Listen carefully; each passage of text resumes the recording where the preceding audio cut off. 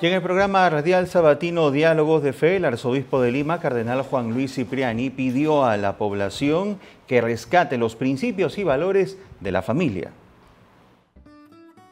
Durante el programa radial Diálogo de Fe, el arzobispo de Lima, Cardenal Juan Luis Cipriani, manifestó que la familia es la fuente de toda fraternidad y por eso es también el fundamento y el camino primordial para la paz.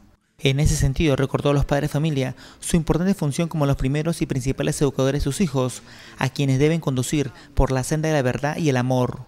¿Qué podemos hacer para reforzar la entidad de la familia?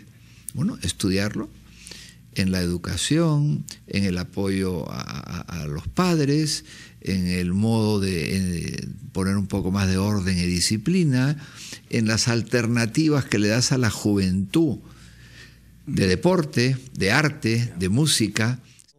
En otro momento dijo que debemos proteger la familia, cuidar los horarios, el modo en el que hablamos, la paciencia y respetar a nuestros seres queridos. Hablábamos al comienzo de una moralidad, una mayor, un mayor esfuerzo por respetar al papá, a la mamá, el horario, el trabajo, la esposa, los hijos, eh, eh, la honradez, el, el horario, ese nuevo impulso que necesita la familia, necesita que hayan ideas. Por último, comentó sobre las recientes investigaciones por presuntos actos de corrupción que se están realizando a los expresidentes Alejandro Toledo, Alan García y Ollantumala. Que los que se encuentran incursos en estos eh, delitos, presos. Punto.